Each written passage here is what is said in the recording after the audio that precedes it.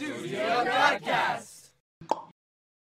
Six days in San Francisco, six stories, 12 artists. Studio Godcast.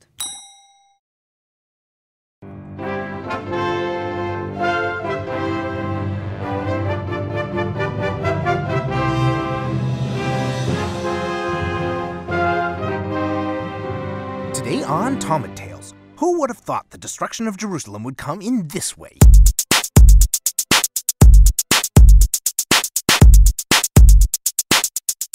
Dude, my party stinks. What happened to Kamtza? That guy's awesome. I sent him the invite. Hey guys, thanks for the invite. What the? Bar Kamtza?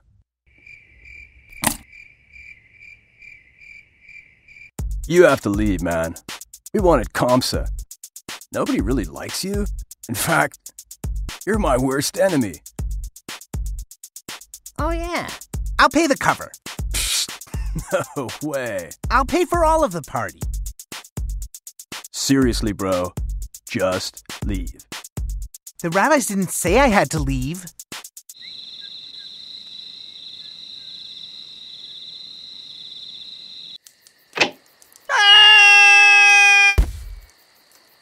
Can you believe the rabbis let this happen? I'll show them.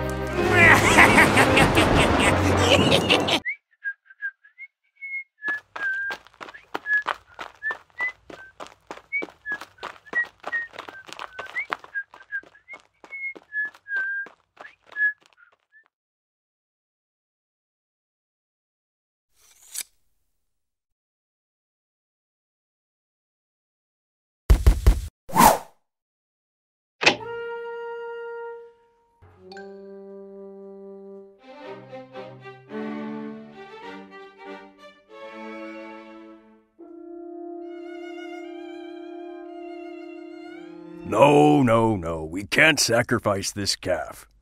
Bar Kamtza totally blemished it.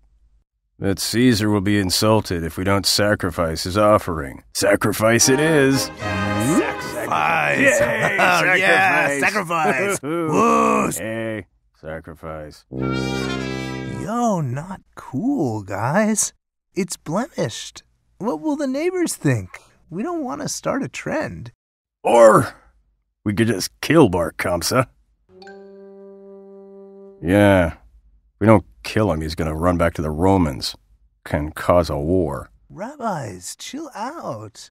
Is he who blemishes to be put to death? I don't think so.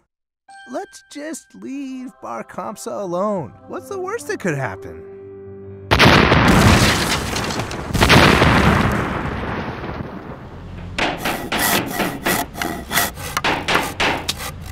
Next time on Talmud Tales. Because the rabbis don't kill Bar Kamtza, he informs against the Jews, and Caesar sends an army to attack Jerusalem. The rebels want to fight the Romans, but the rabbis just want to negotiate peace. The rebels try to compel the rabbis to fight by burning their food and fuel. So a cunning rabbi named Yochanan ben Zakkai convinces his nephew, the rebel leader, to let him escape the city in a coffin pretending to be dead. The temple is destroyed, and everyone is really sad, but Rabbi Yochanan ben Zakkai convinces the Roman general to save Rabbi Gamliel and gets permission to build an awesome school called Yavneh.